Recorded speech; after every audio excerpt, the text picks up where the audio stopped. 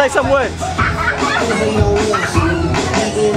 Look like a Mexican. Looks like English Monday now? Actually suits you, man.